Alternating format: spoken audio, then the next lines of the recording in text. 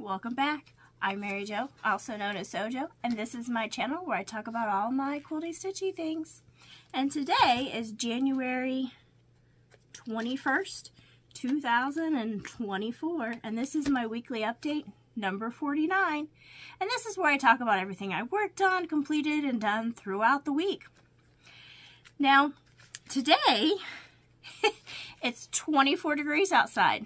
So it's a little bit better than those negative temperatures last week. Now, we did get some snow, finally, but it was only about two inches, so it wasn't very much. It was just enough to cancel school, but now we're on to that warming trend, which that's good. I don't like those negative temperatures. Now today also marks a little special day. Anybody know what it is? Let me know in the comments below. Well, today is my one year anniversary being on YouTube. One year ago today, I decided to make a video and post it to YouTube and see what happens. And here we are. And before I started this video, I looked and I have 774 subscribers. Whoa. I mean, I didn't know what to expect when I started. I didn't know if anybody would even watch me. So now I have 774 friends. But with that being said, I would appreciate it if everybody would go check their subscribers and make sure they're still subscribing. I know YouTube kind of unsubscribes people, and it's happened to me from a few of my people that I watch all the time. So if you wouldn't mind, just go check and make sure you're still subscribed. I'd appreciate it. Thanks. Now, with a year, I've learned a lot. Still got a lot more to learn. It's been an interesting journey. I mean, I started this with just the hopes of helping to meet and interact with a lot of people that have the same interests and hobbies that I do. And I've certainly done that. I mean, I've owned, I'm much more of an introvert. I live in a very rural community where I'm kind of here by myself and just doing my own thing. So I thought I'd put it on YouTube and meet some people, and I've definitely done that. Before I started this channel, I was not much of a commenter, whether it be on live streams or videos, and that's definitely pulled me out of my shell and interacted with everybody. And I love hearing from my subscribers with the comments they put, especially the funny ones. it's been quite a journey. I've also learned a lot that, you know, by putting myself out there, sometimes you're subject to those negative comments. It's only been a few, but there has been some negative comments. Right after I started my journey, I got a pretty, pretty bad one. it was paragraphs and paragraphs long, so I almost stopped. But I put my big girl panties on and I kept going. And here I am, and I don't plan on stopping. So who knows what the next year will bring. So I want to thank everybody that has subscribed, listened, commented, watched my videos. Thank you. It means everything to me. And as a bonus, I think my mom really wa enjoys watching my videos too because she sees everything I work with. Now, I do go to my parents once or twice a week. Well, that's where the long arm is, so I do quilt something. Go over there and quilt something, but with me making these videos, my mom gets to see everything that I worked on, which before she didn't, so I think she really likes that. So, as a bonus, made my mom happy. so, with all that being said, let's take a look at what I worked on. So this is what I quilted on the long arm this week. Now, I didn't only quilt one. I think a minute ago I said I quilted two. I did only quilt one. I put the binding on two, but I only quilted one. So this is my December Cotton Cuts Gnomes, and I quilted it with this Christmas tree um, pantograph. I think it was called Tannenbaum, but we'll take a look at it. So there is a look at the top, and we'll go all the way down. And then I'll point out the Christmas trees here. Christmas trees with the stars on the tops.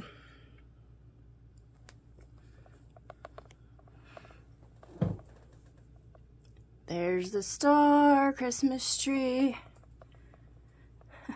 now I know when I hang up these quilts, sometimes it looks like they're wavy, but that's just because there's a thermostat behind that quilt that kind of brings out from the wall. We'll take a look at the back. And there's the backing and my label. Because not only did I get it quilted this week, I also got the binding on. So that is the last of my Cotton Cuts gnomes. I finished them, so hopefully sometime this week I can do a trunk show of all 12 months. So now that my cotton cuts are done, what am I going to do?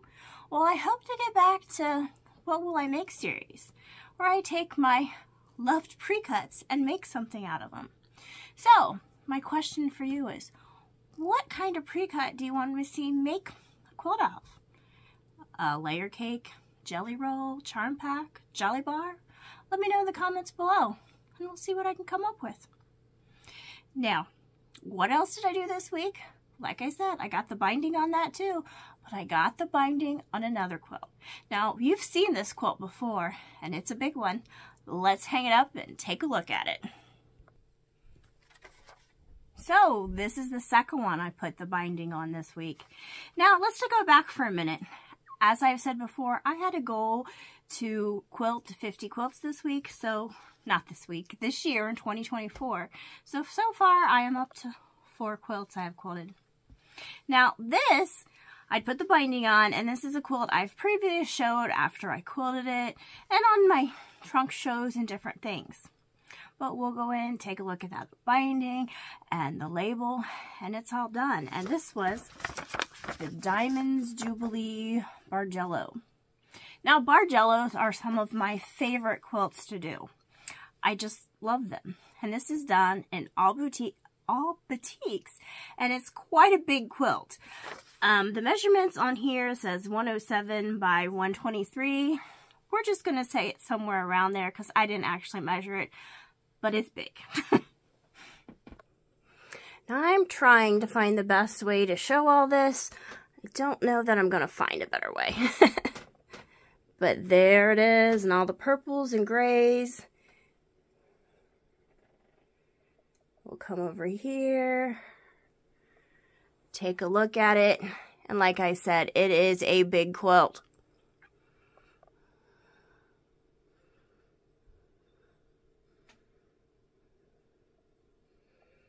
with all the diamonds coming out of it. And let me find the label. And there is my label. Now I did quilt this with the Whipsy or Whimsy quilt pattern. You can kind of see a little bit in there. And there was a little back a little of the backing.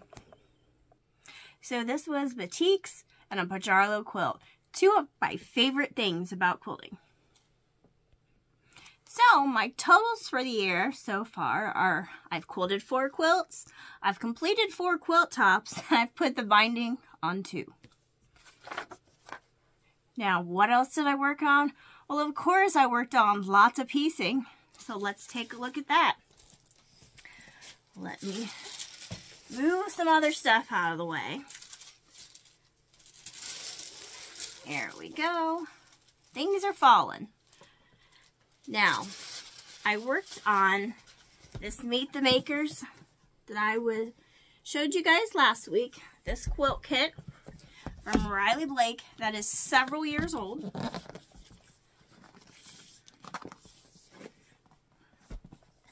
I put the band on the box to keep it from busting open, and now I can't get it off. but I guess the band did its job. Now, on the back, it says this quilt is 70 by 70, and I just broke the band, but that's okay. So, I started working on the alternate blocks, and I got all of them cut out.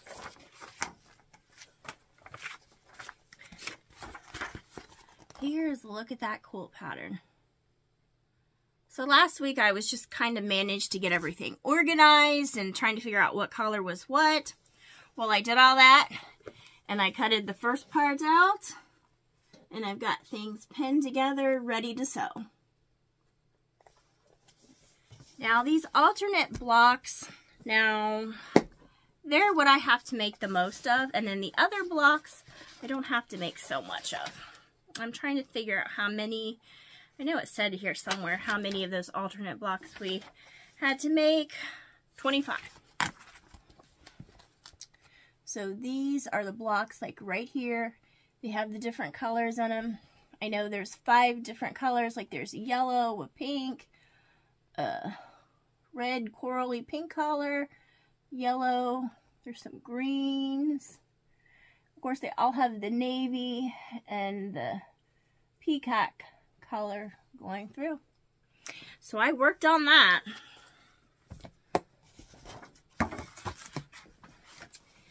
Then I worked on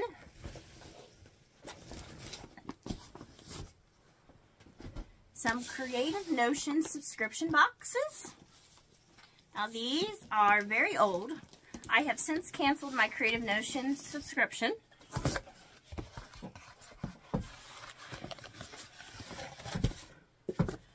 So I worked on this butterfly quilt pattern. So I have all of these, the first, the middle, and the last row sewn together. And I sewn the sashing on top and bottom of each. And I've had all the butterfly blocks, which are these, sewn together. And now I've got them pinned in a row. So here are the butterfly blocks. The butterfly block rows. Finished making all those and I have these pinned together just ready to sew. And then I can add it to the other rows. And here was the other butterfly block row.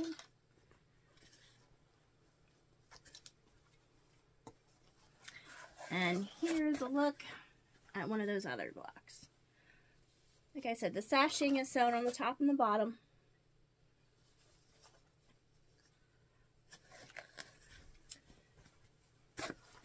So I worked on that.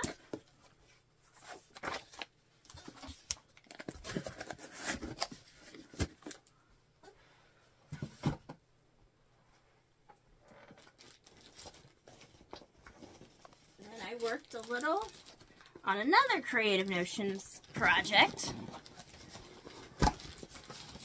And that is this machine cover and ironing board cover. So I use a wool mat, mat when pressing, and I really like my wool mat. However, I was trying to make this because I want another surface area for when I do paper piecing.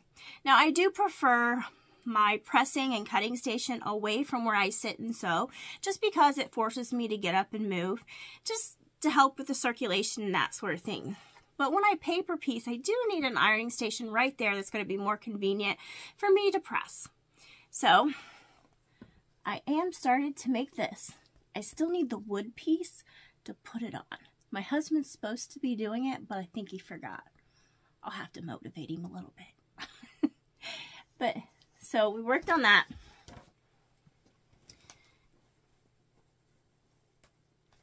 And here's my pieces where I'm starting to work on that sewing machine. There's the back of it I've got things pinned together for that cover. And I think this cover is going to be big enough to put on my Baby Lock Soprano. Now, I normally sew with my Baby Lock Accomplish, which is a straight stitch fast machine, is what my everyday sewing. And then I have the Soprano that I use if I need any zigzagging or decorative stitches or anything like that.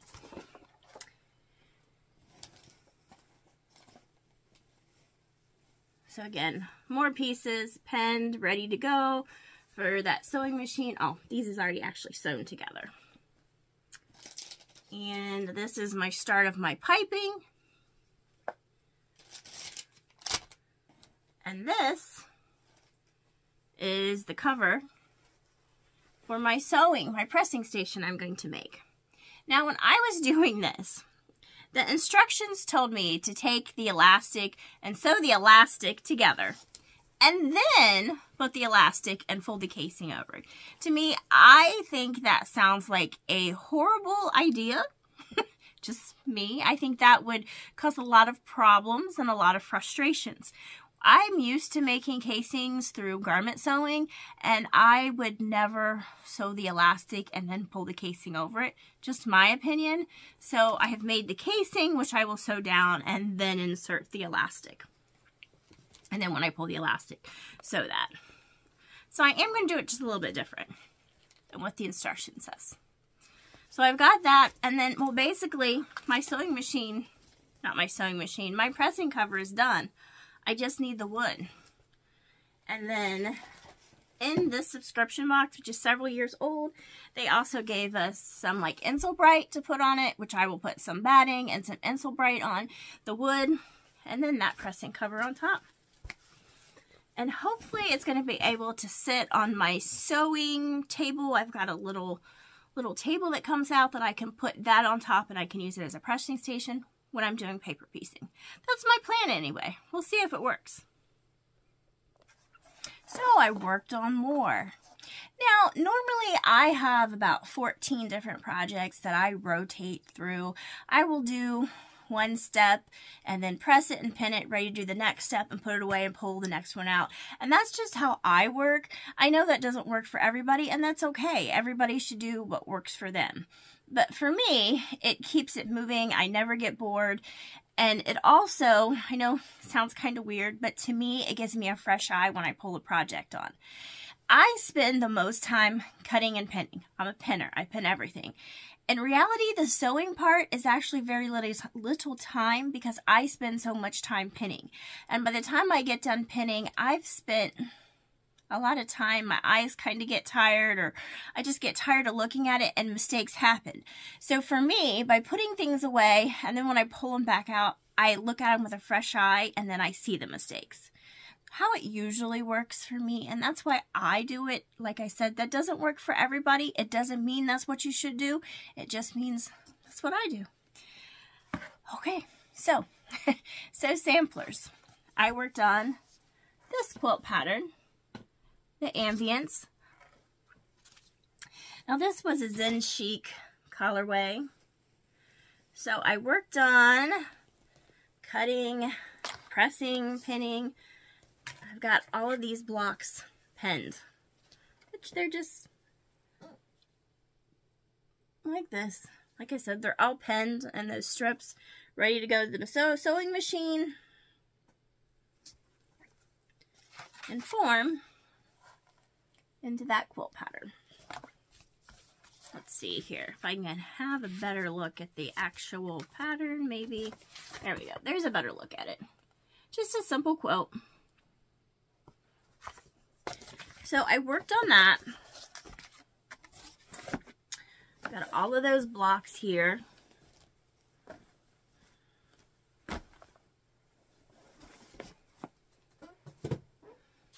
And I worked on another Sew Sampler project. And that was this one. And this is the Shooting Star quilt pattern. So, See, I've got everything penned, ready to go for the next step. And when I go through and work on the next step, I will go through and get all of the steps that I can do at one time. I just won't do step one and then step two and step three.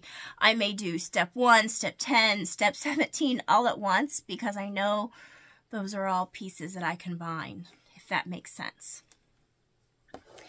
But, so I made a bunch of half square triangles. And I have them pinned to these other squares.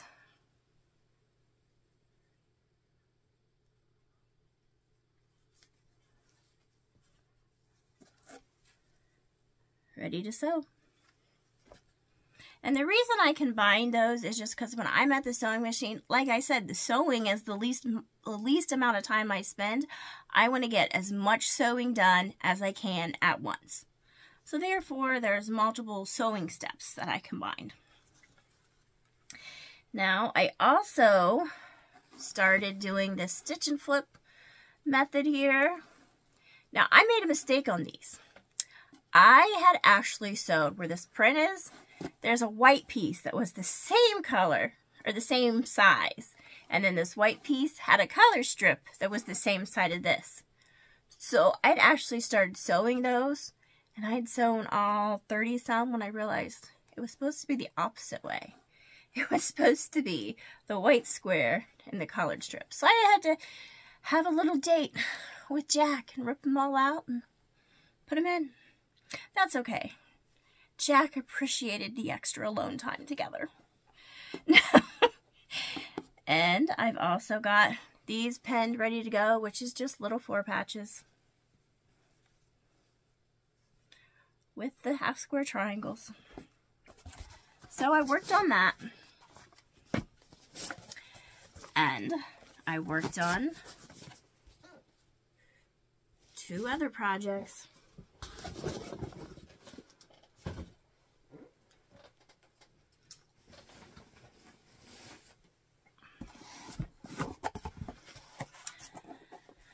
And I worked on this sampler project, Daydreamer quilt pattern.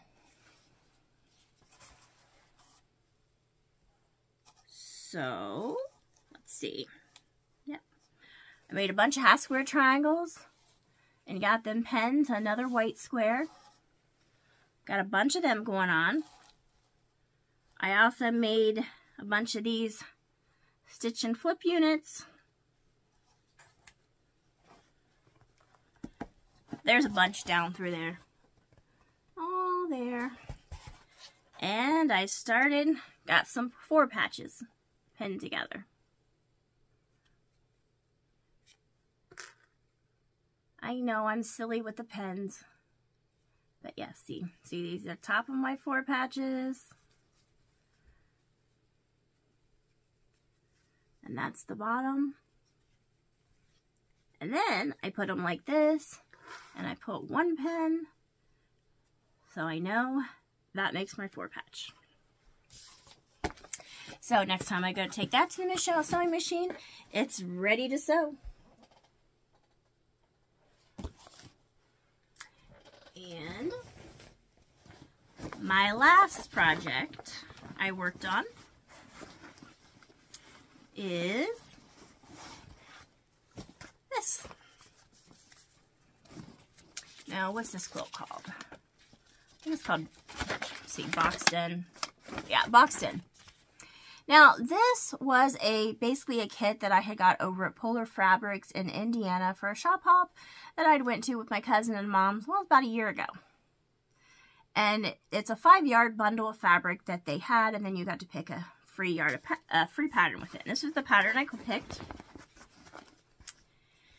And here's where I am with some of those blocks. As you can see, and we're starting to put the little strips all around it. Which, see those white? That's the strips. We got those blocks ready to sew. And then I've got these blocks penned, ready to sew, which will be, right down the center. These middle blocks, it's right down the center where that yellow square is. That's what this dark blue one is.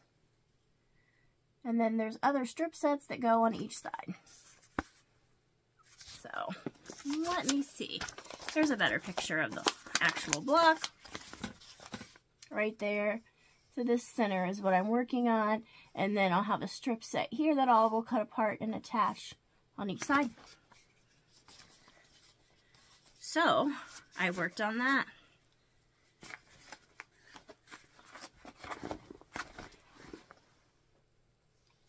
So, those of you who have been with me for a while know what this is.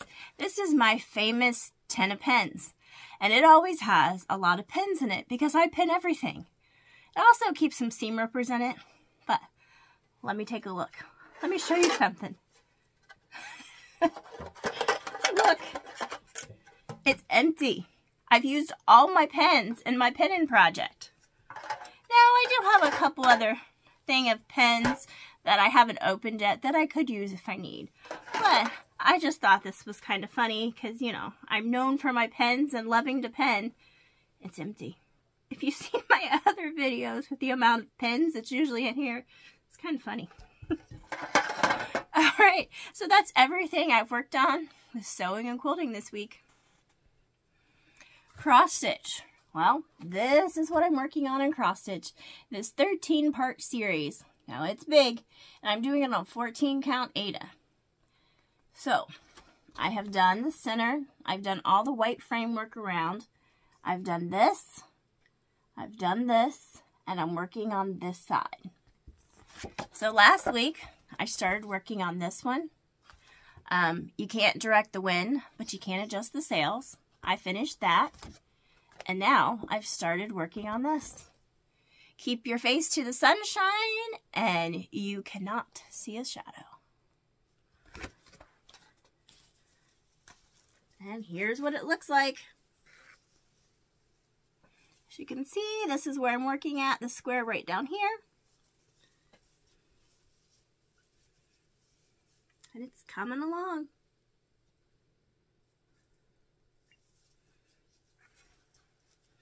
And this is a pretty large piece. So that is my cross stitch progress. Let me show you what I'm working on crocheting. So I'm working on this cardigan. This Gracie slouchy cardigan right here. So I've got the back panel all done. And I finished, one, I think it's the right panel. I'm now working on the left panel. So let's see here.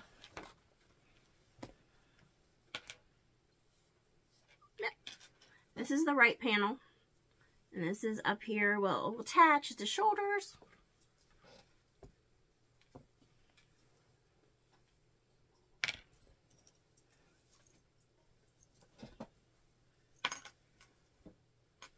This is the back panel. And this is up here, like I said, is where it will attach at the shoulders. So if I turn it around, put the yarn in my mouth, yuck. It will attach up here at the shoulder and then the other panel will attach over there and this will be the neck hole.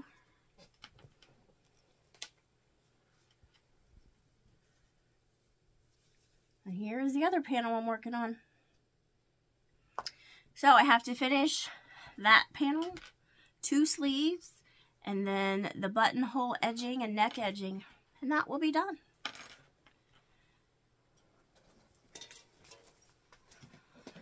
So we worked on that. And then what's up last is my diamond painting. I started another one. Now this is just a small one. Just a very inexpensive one. There's the picture of what it should look like. And this is where I am. Now, I did get asked, what do I do with my, my diamond paintings? How do I finish them? Do I put them in a frame?